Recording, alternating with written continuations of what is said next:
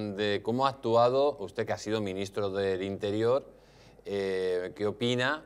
¿Cómo ha actuado el actual ministro del, señor, Interior, el señor Marlasca, eh, que ya tenía información previa de que podía ser falsa esta, esta acusación y, sin embargo, siguió echando gasolina en los medios de comunicación y todavía sigue echando gasolina, hablando prácticamente como si hubiera casi aquí un holocausto contra el colectivo LGTBI.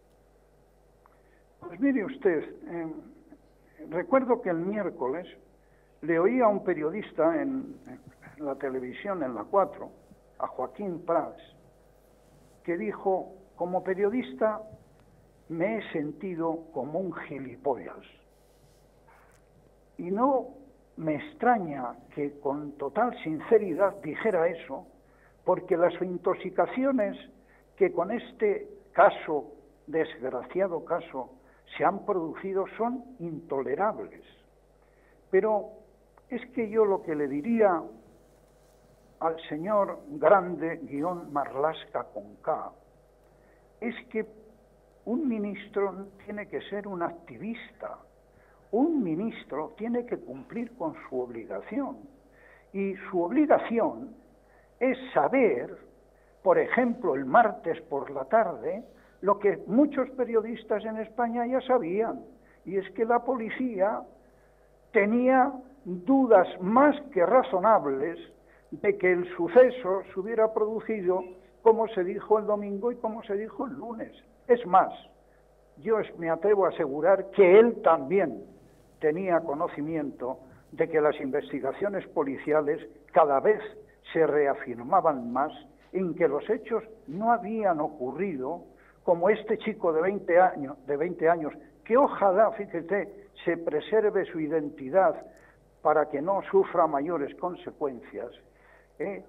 Lo que había dicho este chico de 20 años no correspondía a la verdad. Pero es que a partir de ese momento uno recuerda lo que sucedió en Valladolid el año pasado.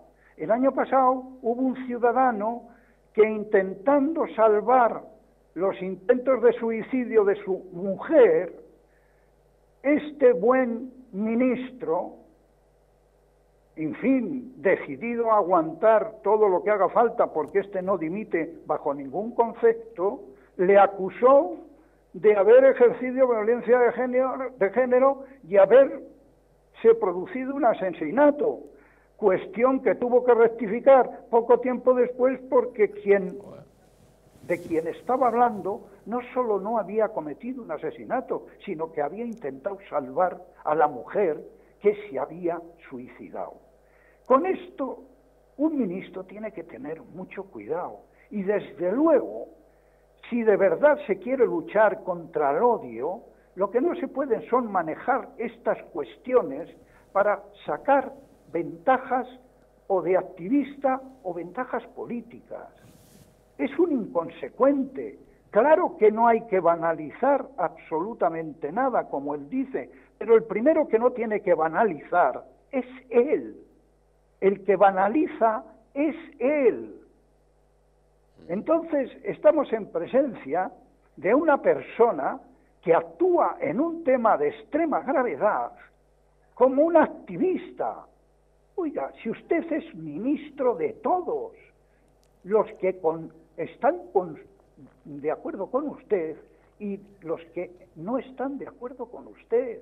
Y usted tiene que ser respetuoso, absolutamente respetuoso, y no generar una dinámica de odio al adversario que, como decía esta semana Raúl del Pozo, es el del 36 sin tiros. Es una barbaridad lo que está pasando en nuestro país.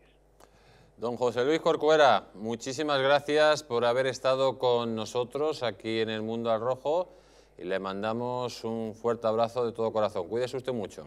Muchas gracias.